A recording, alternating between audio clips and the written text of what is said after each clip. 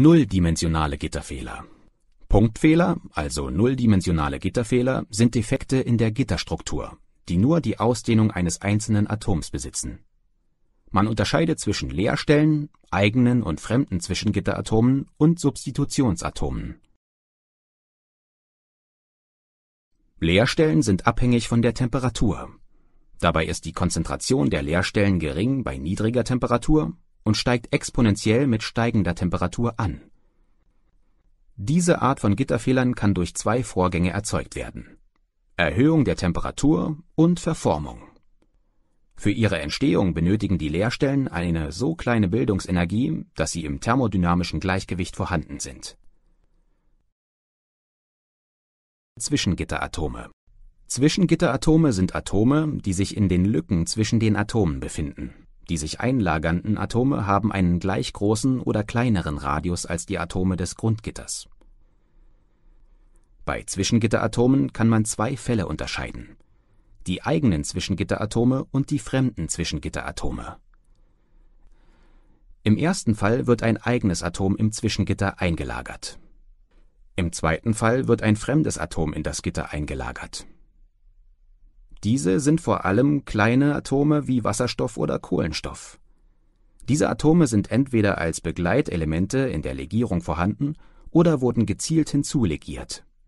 Ein Beispiel hierfür ist der Stahl, bei dem der Kohlenstoff zwischen den Eisenatomen eingelagert wurde. Substitutionsatome Als Substitutionsatome werden Fremdatome bezeichnet, die sich auf den regulären Plätzen im Kristallgitter befinden die Substitutionsatome haben einen ähnlichen Atomradius wie die Atome des Grundgitters. Voraussetzung ist ein Atomradius, welcher maximal 14 Prozent abweichen darf. Zusätzlich müssen die Metalle den gleichen Gittertyp aufweisen.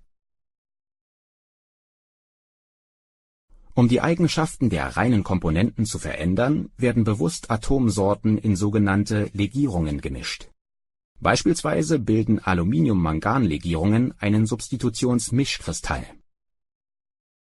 Weil die eingebrachten Fremdatome aber größere oder kleinere Radien als die Atome des Grundgitters haben, kommt es zu lokalen Spannungen im Kristallgitter und somit zu Gitterverzerrungen. Diese führen bei den größeren Substitutionsatomen zu Dilatationszonen und bei den kleineren Zwischengitteratomen zu Kompressionszonen im Gitter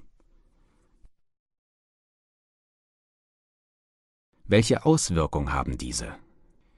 Je mehr Fremdatome vorhanden sind und je größer der Unterschied ihrer Atomradien im Vergleich zum Grundgitter ist, desto größer werden die Gitterspannungen. Je größer die innere Gitterspannung und je größer die Anzahl an Fremdatomen, desto höher ist die Festigkeit.